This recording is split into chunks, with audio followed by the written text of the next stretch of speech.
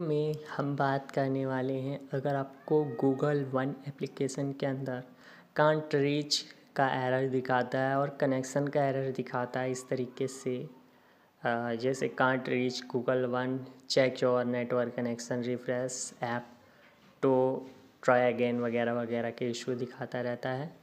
तो इस इशू को हम कैसे सोल्व कर सकते हैं, ये मैं आपको इस वीडियो में बताने वाला हूँ। तो वीडियो को आप पूरा ज़रूर देखिएगा। वीडियो को लाइक कर दीजिएगा और चैनल को भी सब्सक्राइब कर सकते हैं अगर आपको यूज़फुल लगती है वीडियो। ठीक है? तो सबसे पहले यहाँ पर इस इशू को सॉल्व करने के लिए यहाँ से आपको मिनिमाइज़ आ जाना है और अपने प्ले स्टोर में जाना है।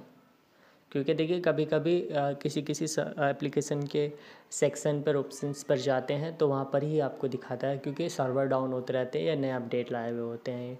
तो तब भी आपको ये इशू आ सकता है। तो यहाँ पर आपको सर्च करना होगा अपने प्ले स्टोर में जाकर गूगल वन ऐप ठीक है? तो ये आपके सामने आ जाएगा। तो अगर इसमें अपडेट आ रहा होगा इस तरीके से तो अपडेट कर लीजिएगा। और अपडेट करने के बाद फिर यहाँ से बैक ला दीजिएगा बैक ला दीजिएगा बैक ला दीजिएगा और अपने फ़ोन की सेटिंग्स में जाइएगा।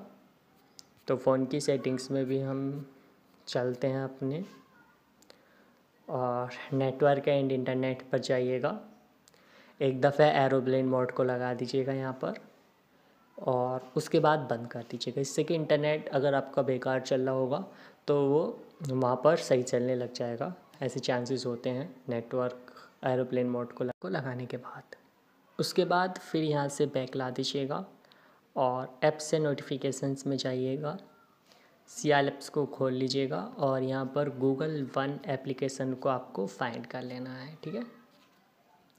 तो ये में भी आपको खाली वन भी निकल सकता है या गूगल भी आगे लिखा हुआ हो सकता है तो वो आप खुद से चेक कर लीजिएगा कि आपके एंड्रॉयड फ़ोन में क्या लिखा हुआ आ रहा है, एप्लीकेशन मैनेजर में जाने के बाद।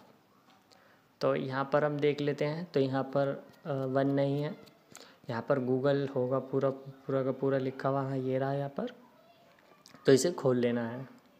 यहाँ से फ़र्स्ट स्टॉप मार देना है मोबाइल डेटा एंड वाईफाई पर जाना है। देखिए बैकग्राउंड में यहाँ पर डेटा को आपको बंद मिले तो स्टार्ट कर लेना है इस तरीके से। अनरिस्टिक डेटा यूसेज अगर आपको मिले तो उसको स्टार्ट कर लेना है। और फिर उसके बाद जो है, आपको उसको बंद भी कर देना है। तो आपको ये करना है, फिर बैक ला देना है बैक ला देना है बैक ला देना है और बैक ला देना है और यहाँ पर अपने सिस्टम में जाना है। डेट एंड टाइम पर जाना है। और यूज़ नेटवर्क प्रोवाइडेड आपको दिखाई दे तो इस पर टिक करके लगा दीजिए। और अगर टाइम जोन आपको दिखाई दे टाइम जोन तो उस पर भी आप टिक करके लगा दीजिए। आप डेट में कुछ डिफरेंट रखना चाहें तो एक दिन का डिफरेंट रख सकते हैं, एक दिन से ज़्यादा का मत रखिएगा। तो बस आपको इतना ही करना है, फिर आपकी जो प्रॉब्लम होगी, वो सॉल्व हो जाएगी। तो ये प्रोसेस रहता है इसका बस। अगर यहाँ पर आपको वीडियो अच्छी लगी हो तो आप लाइक कर दीजिएगा और फ़ोन को अपने बंद करके ज़रूर खोल लीजिएगा, जिससे कि इशू आ रहा हो तो वो सोल्व हो जाए। तो अगर वीडियो अच्छी लगी हो तो लाइक कर दीजिएगा और चैनल को सब्सक्राइब भी कर दीजिएगा। मिलते हैं अगली वीडियो में। तब तक के लिए बाय एंड टेक केयर।